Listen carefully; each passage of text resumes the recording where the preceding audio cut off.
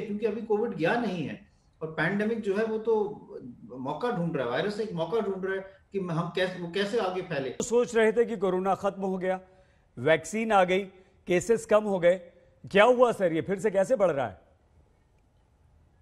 तो आपकी बात सही है कि केसेस एकदम कम हो गए थे लेकिन कोविड गया नहीं था वायरस हमारे बीच में ही था और कई लोगों ने ये सोचना शुरू कर दिया कि कोरोना खत्म हो गया है। अब हमें मास्क लगाने की ज़रूरत नहीं है फ़िज़िकल डिस्टेंसिंग की ज़रूरत नहीं है हाथ धोने की ज़रूरत नहीं है। जी। और वायरस का इंतज़ार कर रहा था और इसीलिए अगर हम देखें कई जगह पे लोग इकट्ठे होने शुरू हो गए क्राउड्स होने लगे जहाँ पे लोगों ने मास्क नहीं लगाया था कई पार्टीज़ ऐसे होने लगी। तो अगर उन ऐसी स्थिति में किसी एक व्यक्ति को भी कोविड हो तो वो बहुत सारे लोगों को एकदम इन्फेक्शन फैला सकता है और एकदम जो है केसेस बढ़ सकते हैं और ये हमने कई राज्यों में देखा भी कि केसेस एकदम बढ़ गए हैं। हमें ये समझना चाहिए कि वैक्सीन हमारे पास एक हथियार है जो इफ़ेक्टिव रहेगा लेकिन वो तभी इफ़ेक्टिव होगा जब ज़्यादा से ज़्यादा लोग वैक्सीनेट हो जाएँगे। अभी हम उस स्थिति पे नहीं पहुँचे हैं। इसलिए जब तक हमारे वैक्सीनेशन नंबर जो हैं ज़्यादा नहीं होते तब तो कोविड अप्रोप्रिएट बिहेवियर बहुत ज़रूरी है। और जो टेस्टिंग ट्रैकिंग आइसोलेशन की पहले हमारी पॉलिसी थी छह महीने पहले वो अभी भी बहुत ज़रूरी है।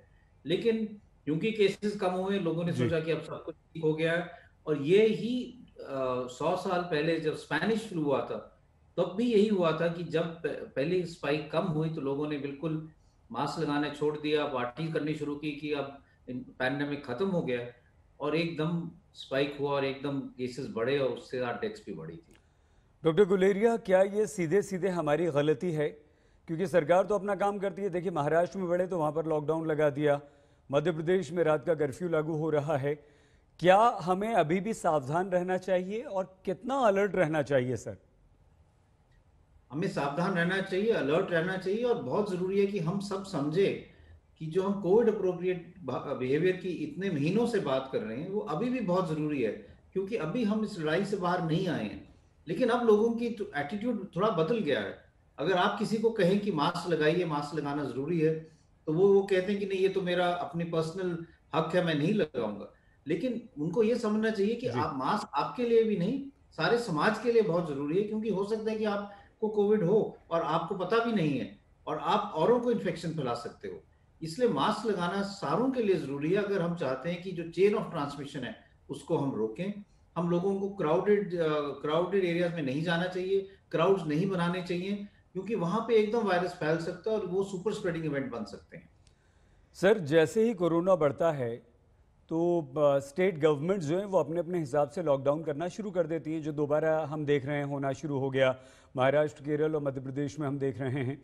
ऐसे में क्या ये ज़्यादा ज़िम्मेदारी सामाजिक, यानी कि आपकी, हमारी, हम भारत के नागरिकों की बनती है, सर?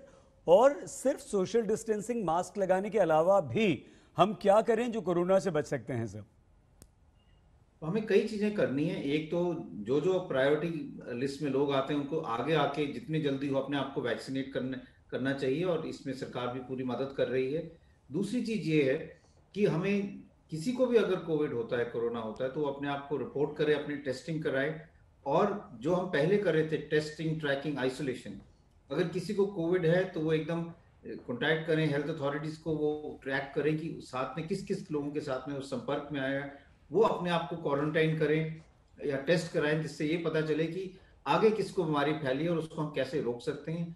उन एरियाज़ में हम कंटेनमेंट जोन बनाएँ कि जहाँ पे भी ज़्यादा केसेस आ रहे हैं, वो आगे ना फैलें।